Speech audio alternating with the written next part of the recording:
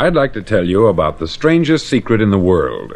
Not long ago, Albert Schweitzer, the great doctor and Nobel Prize winner, was being interviewed in London, and a reporter asked him, Doctor, what's wrong with men today?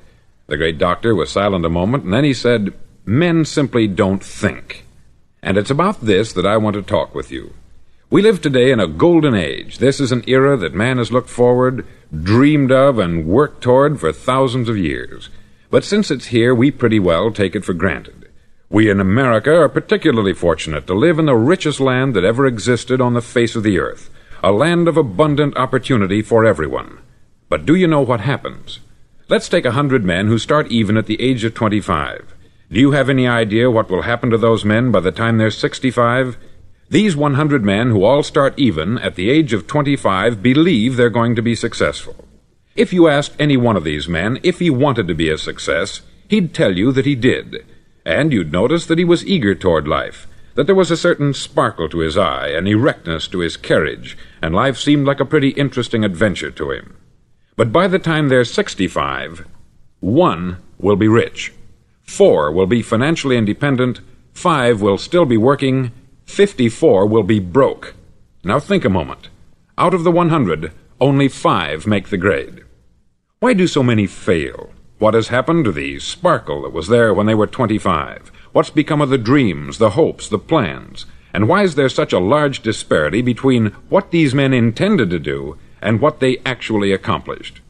When we say about 5% achieve success, we have to define success. And here's the definition. Success is the progressive realization of a worthy ideal. If a man is working toward a predetermined goal and knows where he's going, that man is a success. If he's not doing that, he's a failure. Success is the progressive realization of a worthy ideal. Rollo May, the distinguished psychiatrist, wrote a wonderful book called Man's Search for Himself.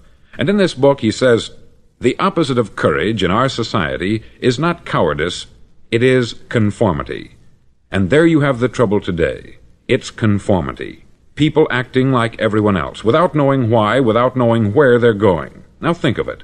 In America right now, there are over 14 million people 65 years of age and over, and about 13 million of these 14 million are broke.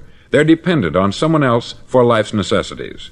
Now, we learn to read by the time we're seven. We learn to make a living by the time we're 25. Usually, by that time, we're not only making a living, we're supporting a family. And yet, by the time we're 65, we haven't learned how to become financially independent in the richest land that has ever been known. Why? We conform. And the trouble is that we're acting like the wrong percentage group, the 95% who don't succeed. Now, why do these people conform? Well, they don't know, really. These people believe that their lives are shaped by circumstances, by things that happen to them, by exterior forces. They're outer directed people. A survey was made one time that covered a lot of men, working men, and these men were asked this question Why do you work? Why do you get up in the morning? 19 out of 20 had no idea. If you ask them, they'll say, everyone goes to work in the morning. And that's the reason they do it, because everyone else is doing it. Now let's get back to our definition of success. Who succeeds? The only man who succeeds is the man who is progressively realizing a worthy ideal. He's the man who says, I'm going to become this, and then begins to work toward that goal. I'll tell you who the successful people are. A success is the school teacher who's teaching school because that's what she wanted to do. The success is the woman who's a wife and mother because she wanted to become a wife and mother and is doing a good job of it. The success is the man who runs the corner gas station because that's what he wanted to do. The success is the successful salesman who wants to become a top notch salesman and grow and build with his organization. A success is anyone who is doing deliberately a predetermined job because that's what he decided to do deliberately but only one out of 20 does that. That's why today there isn't really any competition, unless we make it for ourselves. Instead of competing, all we have to do is create. Now, for 20 years, I looked for the key which would determine what would happen to a human being. Was there a key I wanted to know which would make the future a promise that we could foretell to a large extent? Was there a key that would guarantee a person's becoming successful if he only knew about it and knew how to use it? Well, there is such a key, and I've found it. Have you ever wondered why so many men work so hard and honestly without ever achieving anything in particular, and others don't seem to work hard and yet seem to get everything? They have the magic touch. You've heard them say that about someone. Everything he touches turns to gold. And have you ever noticed that a man who becomes successful tends to continue to become successful, and on the other hand, have you noticed how a man who is a failure tends to continue to fail? It's because of goals. Some of us have them, some don't. People with goals succeed because they know where they're going. Now think of a ship leaving a harbor, and think of it with the complete voyage mapped out and planned. The captain and crew know exactly where it's going and how long it will take. It has a definite goal. 9,999 times out of 10,000 it will get to where it started out to get. Now let's take another ship, just like the first, only let's not put a crew on it, or a captain at the helm. Let's give it no aiming point, no goal, no destination. We just start the engines and let it go. I think you'll agree with me that if it gets out of the harbor at all, it will either sink or wind up on some deserted beach a derelict. It can't go any place because it has no destination and no guidance. It's the same with a human being. Take the salesman, for example.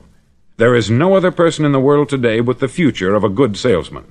Selling is the world's highest paid profession, if we're good at it, and if we know where we're going.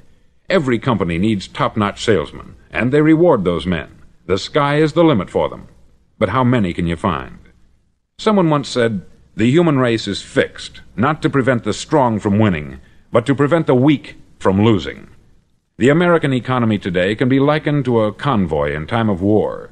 The entire economy is slowed down to protect its weakest link, just as the convoy had to go at the speed that would permit its slowest vessel to remain in formation. That's why it's so easy to make a living today. It takes no particular brains or talent to make a living and support a family today. So we have a plateau of so-called security, if that's what a person's looking for. But we do have to decide how high above this plateau we want to aim for. Now let's get back to the strangest secret in the world, the story that I wanted to tell you today. Why do men with goals succeed in life, and men without them fail? Well, let me tell you something which, if you really understand it, will alter your life immediately. If you understand completely what I'm going to tell you from this moment on, your life will never be the same again. You'll suddenly find that good luck just seems to be attracted to you. The things you want just seem to fall in line. And from now on, you won't have the problems, the worries, the gnawing lump of anxiety that perhaps you've experienced before. Doubt, fear, well, they'll be things of the past. Here's the key to success, and the key to failure. We become what we think about. Now let me say that again. We become what we think about. Throughout all history, the great wise men and teachers, philosophers and prophets have disagreed with one another on many different things. It is only on this one point that they are in complete and unanimous agreement. Listen to what Marcus Aurelius, the great Roman emperor, said. He said, A man's life is what his thoughts make of it. Disraeli said this Everything comes if a man will only wait. I have brought myself by long meditation to the conviction that a human being with a settled purpose must accomplish it, and that nothing can resist a will that will stake even existence for its fulfillment. Ralph Waldo Emerson said this A man is what he thinks about all day long. William James said, The greatest discovery of my generation is that human beings can alter their lives by altering their attitudes of mind. And he also said, We need only in cold blood act as if the thing in question were real, and it will become infallibly real by growing into such a connection with our life that it will become real. It will become so knit with habit and emotion that our interest in it will be those which characterize belief. He also said this If you only care enough for a result, you will almost certainly attain it. If you wish to be rich, you will be rich. If you wish to be learned, you will be learned. If you wish to be good, you will be good. Only you must then really wish these things, and wish them exclusively, and not wish at the same time a hundred other incompatible things just as strongly. In the Bible you read, in Mark 9:23, If thou canst believe, all things are possible to him that believeth. Dr. Norman Vincent Peale said this, this is one of the greatest laws in the universe. Fervently do I wish I had discovered it as a very young man. It dawned upon me much later in life, and I've found it to be one of the greatest, if not my greatest discovery, outside of my relationship to God. And the great law, briefly and simply stated, is that if you think in negative terms, you'll get negative results. If you think in positive terms, you will achieve positive results. That is the simple fact which is at the basis of an astonishing law of prosperity and success. In three words, believe and succeed. William Shakespeare put it this way Our doubts are traitors, and make us lose the good we oft might win by fearing to attempt. George Bernard Shaw said, People are always blaming their circumstances for what they are. I don't believe in circumstances. The people who get on in this world are the people who get up and look for the circumstances they want, and if they can't find them, make them. Well, it's pretty apparent, isn't it? And every person who discovered this for a while believed that he was the first one to work it out. We become what we think about. Now, it stands to reason that a person who's thinking about a concrete and worthwhile goal is going to reach it, because that's what he's thinking about. And we become what we think about. Conversely, the man who has no goal, who doesn't know where he's going, and whose thoughts must therefore be thoughts of confusion and anxiety and fear and worry, becomes what he thinks about. His life becomes one of frustration, fear, anxiety, and worry. And if he thinks about nothing, he becomes nothing. Now, how does it work? Why do we become what we think about? Well, I'll tell you how it works as far as we know. Now, to do this, I want to tell you about a situation that parallels the human mind. Suppose a farmer has some land, and it's good, fertile land. Now, the land gives the farmer a choice. He may plant in that land whatever he chooses. The land doesn't care. It's up to the farmer to make the decision. Now, remember, we're comparing the human mind with the land. Because the mind, like the land, doesn't care what you plant in it. It will return what you plant but it doesn't care what you plant. Now let's say that the farmer has two seeds in his hand. One is a seed of corn, the other is nightshade, a deadly poison. He digs two little holes in the earth and he plants both seeds, one corn, the other nightshade. He covers up the holes, waters, and takes care of the land, and what will happen? Invariably, the land will return what is planted. As it's written in the Bible, As ye sow, so shall ye reap. Remember, the land doesn't care. It will return poison in just as wonderful abundance as it will corn. So up come the two plants one corn, one poison. Now, the human mind is far more fertile, far more incredible and mysterious than the land, but it works the same way. It doesn't care what we plant success, failure, a concrete worthwhile goal, or confusion, misunderstanding, fear, anxiety, and so on. But what we plant, it will return to us. You see, the human mind is the last great unexplored continent on the earth. It contains riches beyond our wildest dreams. It will return anything we want to plant.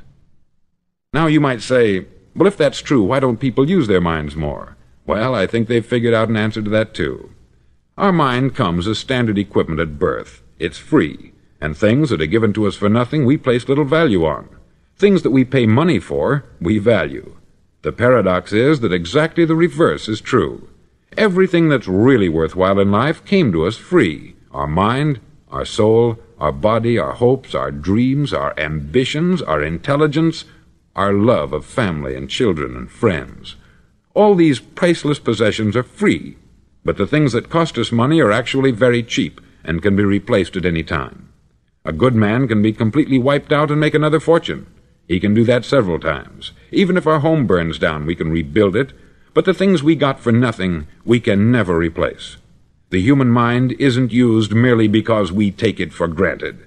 Familiarity breeds contempt. It can do any kind of job we assign to it, but generally speaking, we use it for little jobs instead of big important ones. Universities have proved that most of us are operating on about 10% of our abilities. Decide now, what is it you want? Plant your goal in your mind. It's the most important decision you'll ever make in your entire life. Do you want to be an outstanding salesman, a better worker at your particular job? Do you want to go places in your company, in your community? All you've got to do is plant that seed in your mind, care for it, work steadily toward your goal, and it will become a reality. It not only will, there's no way that it cannot. You see, that is a law, like the laws of Sir Isaac Newton, the laws of gravity. If you get on top of a building and jump off, you'll always go down. You'll never go up. And it's the same with all the other laws of nature. They always work, they're inflexible. Think about your goal in a relaxed, positive way. Picture yourself in your mind's eye as having already achieved this goal. See yourself doing the things you will be doing when you've reached your goal. Ours has been called the phenobarbital age, the age of ulcers and nervous breakdowns. At a time when medical research has raised us to a new plateau of good health and longevity, far too many of us worry ourselves into an early grave trying to cope with things in our own little personal ways, without learning a few great laws that will take care of everything for us. These things we bring on ourselves through our habitual way of thinking. Every one of us is the sum total of his own thoughts. He is where he is because that is exactly where he really wants to be, whether he'll admit that or not. Each of us must live off the fruit of his thoughts in the future, because what you think today and tomorrow, next month and next year, will mold your life and determine your future. You're guided by your mind. I remember one time I was driving through Arizona and I saw one of those giant earth moving machines roaring along the road at about 35 miles an hour with what looked like 20 tons of dirt in it, a tremendous, incredible machine, and there was a little man perched way up on top with the wheel in his hands guiding it. And as I drove along, I was struck by the similarity of that machine to the human mind. Just suppose you're sitting at the controls of such a vast source of energy. Are you going to sit back and fold your arms and let it run itself into a ditch? Or are you going to keep both hands firmly on the wheel and control and direct this power to a specific, worthwhile purpose? It's up to you. You're in the driver's seat. You see, the very law that gives us success is a two edged sword. We must control our thinking. The same rule that can lead a man to a life of success, wealth, happiness, and all the things he's ever dreamed of for himself and his family that very same law can lead him into the gutter. It's all in how he uses it, for good or for bad. This is the strangest secret in the world. Now, why do I say it's strange, and why do I call it a secret? Actually, it isn't a secret at all. It was first promulgated by some of the earliest wise men, and it appears again and again throughout the Bible. But very few people have learned it, understand it. That's why it's strange, and why, for some equally strange reason, it virtually remains a secret. I believe that you could go out and walk down the main street of your town and ask one man after another what the secret of success is, and you probably wouldn't run into one man in a month who could tell you. Now, this information is enormously valuable to us, if we really understand it and apply it. It's valuable to us not only for our own lives, but the lives of those around us, our family, employees, associates, and friends. Life should be an exciting adventure. It should never be a bore. A man should live fully, be alive. He should be glad to get out of bed in the morning. He should be doing a job he likes to do because he does it well. One time I heard Grove Patterson make a speech, the editor in chief of the Toledo Daily Blade, and as he concluded his speech, he said something that I've never forgotten. He said something like this My years in the newspaper business have convinced me of several things among them that people are basically good, and that we came from someplace and we're going someplace. So we should make our time here an exciting adventure. The architect of the universe didn't build a stairway leading nowhere. And the greatest teacher of all, the carpenter from the plains of Galilee, gave us the secret time and time again. As ye believe, so shall it be done unto you. I've explained the strangest secret in the world and how it works. Now I want to explain how you can prove to yourself the enormous returns possible in your own life by putting this secret to a practical test. I want you to make a test that will last 30 days. Now it isn't going to be easy. If you'll give it a good try, it will completely change your life for the better. Back in the 17th century, Sir Isaac Newton, the English mathematician and natural philosopher, gave us some natural laws of physics which apply as much to human beings as they do to the movement of bodies in the universe. Now, one of these laws is that for every action there is an equal and opposite reaction. Simply stated, as it applies to you and me, it means we can achieve nothing without paying the price. The results of your 30 day experiment will be in direct proportion to the effort you put forth. To be a doctor, you must pay the price of long years of difficult study. to be successful in selling, and remember that each of us succeeds to the extent of his ability to sell, selling our families on our ideas, selling education in schools, selling our children on the advantages of living the good and honest life, selling our associates and employees on the importance of being exceptional people, to, of course, the profession of selling itself.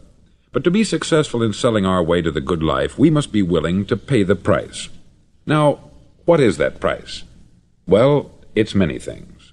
First, it's understanding emotionally, as well as intellectually, that we literally become what we think about, that we must control our thoughts if we're to control our lives. It's understanding fully that, as ye sow, so shall ye reap. Secondly, it's cutting away all the fetters from the mind and permitting it to soar as it was divinely designed to do. It's the realization that your limitations are self imposed, and that the opportunities for you today are enormous beyond belief. It's rising above narrow minded pettiness and prejudice. Thirdly, to use all your courage to force yourself to think positively on your own problem, to set a definite and clearly defined goal for yourself to let your marvelous mind think about your goal from all possible angles, to let your imagination speculate freely upon many different possible solutions, to refuse to believe there are any circumstances sufficiently strong to defeat you in the accomplishment of your purpose, to act promptly and decisively when your course is clear, and to keep constantly aware of the fact that you are, at this moment, standing in the middle of your own acre of diamonds, as Russell Conwell used to point out. Fourth, save at least 10% of what you earn. It's also remembering that no matter what your present job, it has enormous possibilities if you're willing to pay the price. Now let's just go over the important points in the price each of us must pay to achieve the wonderful life that can be ours. It is, of course, worth any price. One, you will become what you think about. Two, remember the word imagination. Let your mind soar. Three, Courage. Concentrate on your goal every day. 4. Save 10% of what you earn. And action. Ideas are worthless unless we act on them. Now I'll try to outline the 30 day test I want you to make. Now keep in mind that you have nothing to lose by making this test, and everything you could possibly want to gain. There are two things that may be said of everyone. Each of us wants something, and each of us is afraid of something. I want you to write on a card what it is you want more than anything else. It may be more money. Perhaps you'd like to double your income or make a specific amount of money. It may be a beautiful home. It may be success at your job. It may be a particular position in life. It could be a more harmonious family. Each of us wants something. Write down on your card specifically what it is that you want. Make sure it's a single goal and clearly defined.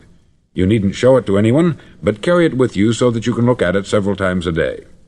Think about it in a cheerful, relaxed, positive way each morning when you get up, and immediately you have something to work for, something to get out of bed for, something to live for.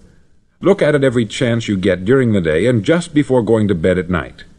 As you look at it, remember that you must become what you think about, and since you're thinking about your goal, you realize that soon it will be yours. In fact, it's yours really the moment you write it down and begin to think about it. Look at the abundance all around you as you go about your daily business. You have as much right to this abundance as any other living creature. It's yours for the asking. Now we come to the difficult part. Difficult because it means the formation of what is probably a brand new habit, and new habits are not easily formed. Once formed, however, it'll follow you for the rest of your life. Stop thinking about what it is you fear. Each time a fearful or negative thought comes into your consciousness, replace it with a mental picture of your positive and worthwhile goal. There will come times when you will feel like giving up. It's easier for a human being to think negatively than positively. That's why only 5% is successful. You must begin now to place yourself in that group. For 30 days, you must take control of your mind. It will think only about what you permit it to think. Each day for this 30 day test, do more than you have to do. In addition to maintaining a cheerful, positive outlook, give of yourself more than you've ever done before. Do this knowing that your returns in life must be in direct proportion to what you give. The moment you decide on a goal to work toward, you're immediately a successful person. You're then in that rare and successful category of people who know where they're going. Out of every hundred people, you belong to the top five. Don't concern yourself too much with how you're going to achieve your goal. Leave that completely to a power greater than yourself. All you have to do is know where you're going. The answers will come to you of their own accord. Remember these words from the Sermon on the Mount, and remember them well. Keep them constantly before you this month of your test. Ask, and it shall be given you. Seek, and ye shall find. Knock, and it shall be opened unto you. For every one that asketh receiveth, and he that seeketh findeth, and to him that knocketh it shall be opened. It's as marvelous and as simple as that.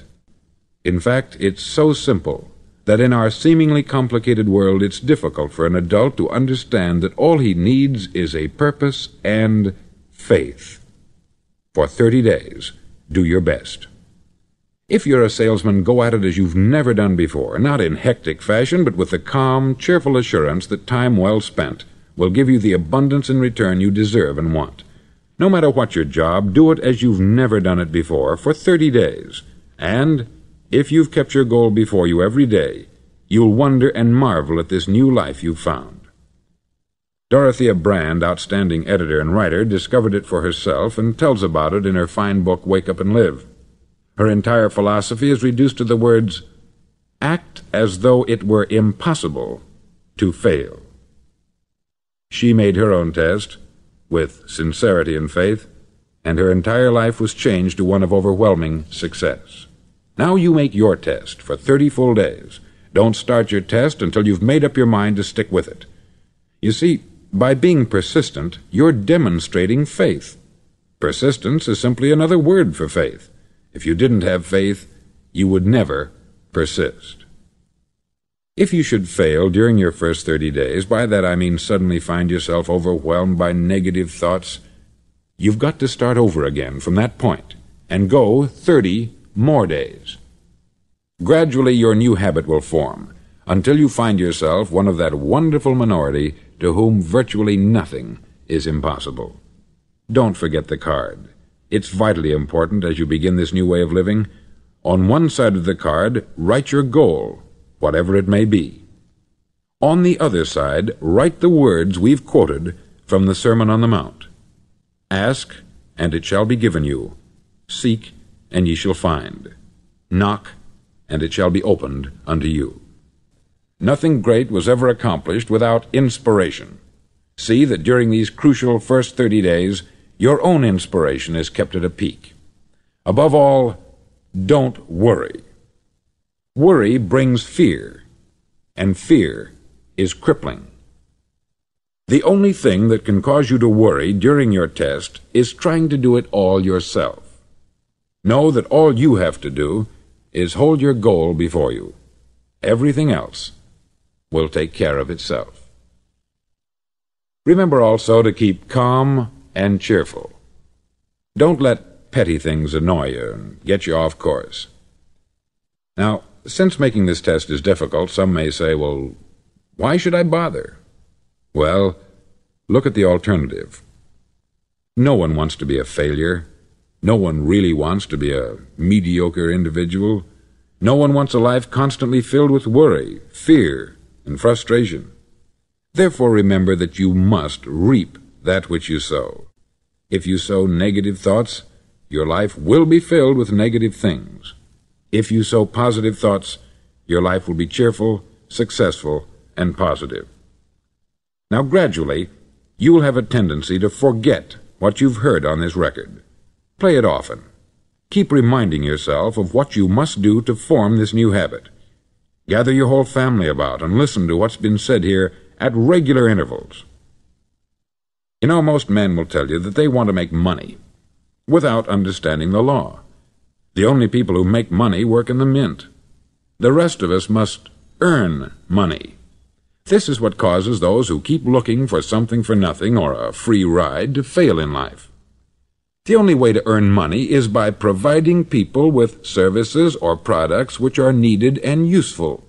We exchange our product or service for the other man's money. Therefore, the law is that our financial return will be in direct proportion to our service. Success is not the result of making money. Making money is the result of success. And success is in direct proportion to our service. Most people have this law backwards. They believe that you're successful if you earn a lot of money. The truth is that you can only earn money after you're successful. It's like the story of the man who sat in front of the stove and said to it, Give me heat, and then I'll add the wood. How many men and women do you know, or do you suppose there are today, who take the same attitude toward life? There are millions. We've got to put the fuel in before we can expect heat. Likewise, we've got to be of service first before we can expect money. Don't concern yourself with the money. Be of service. Build, work, dream, create. Do this, and you'll find there's no limit to the prosperity and abundance that will come to you.